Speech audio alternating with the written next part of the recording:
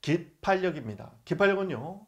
시험에서는 국가배상에서 배웠던 항고소송의 기판력이 국가배상 청구 소송에 미치는지 효력을 미치는지 우리가 구별설로 가면 항고소송의 인용 판결은 기판력이 미치고 기각 판결은 안 미친다고 했죠.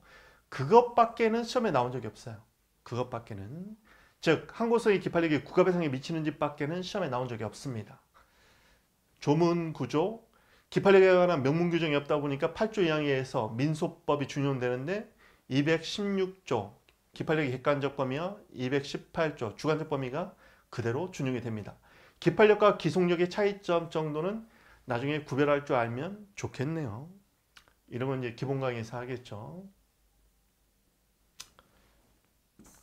먼저 한번 말씀드리면 주객식만 한번 따져볼게요. 주객식.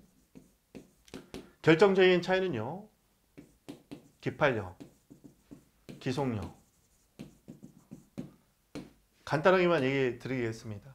기판력은 인용 판결뿐만 아니라 기각 판결에도 미치지만 기속력은 인용 판결에 한해서만 미쳐요. 이것도 굉장히 큰 특징이죠.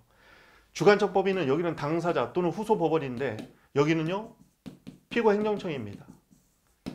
따라서 행정청 또는 관계행정청까지만 미쳐요.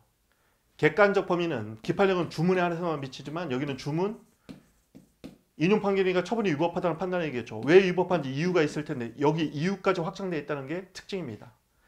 기판력의 시적 범위는 사변종, 사실심 변론 종결시거든요. 근데 여기는 판례에 따르면 처분시가 되는 거죠. 즉 주관적, 객관적 시적 범위도 다르고 기판력, 기속력이 인정되는 판결의 종류도 다르다. 뭐 사실 이 정도만 알고 있으면 돼요.